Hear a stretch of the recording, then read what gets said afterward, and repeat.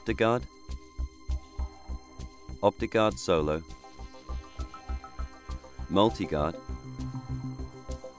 and UniGuard rupture discs, and should serve as a supplement to the written instructions provided with your disc. Before installation, please ensure that you have all necessary tools and products to hand.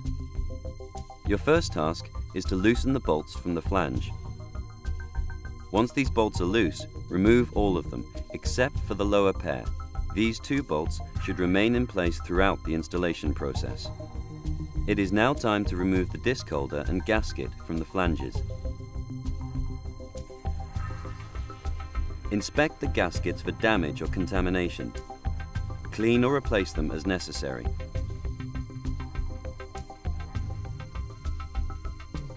Next, unscrew the Elfab Flotel detection device and place it safely to one side.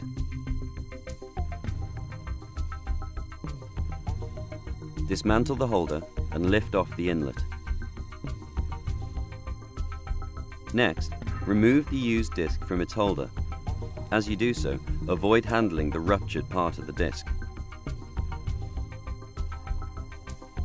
Compare the used disc tag to the specifications on the box of the replacement disc.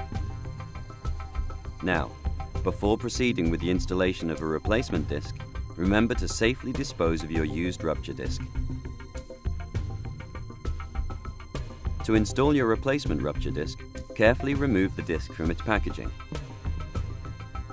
Be sure to handle the disc by its outer rim.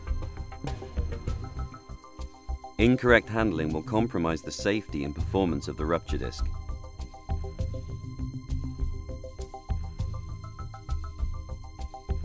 Damaged discs should not be used under any circumstances. Before you place the new disc in its holder, take care to clean the surface of the disc holder. Insert the new rupture disc into the holder. As you do so, note that the disc's tag alignment ensures the correct orientation of the disc.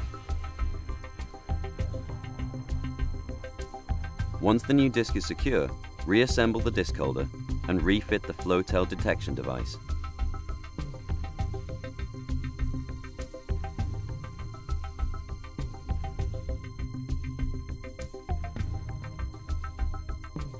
Put the gaskets back in place and insert the disc holder between the flanges.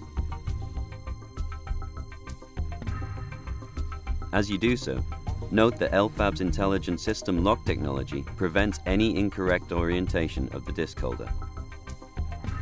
With the disc holder in place, it is now time to refasten the flange bolts. Slide each bolt into position and loosely fasten it to the flange.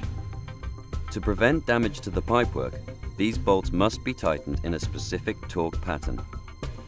For the correct bolt torque pattern, please refer to the printed installation guide included with your ruptured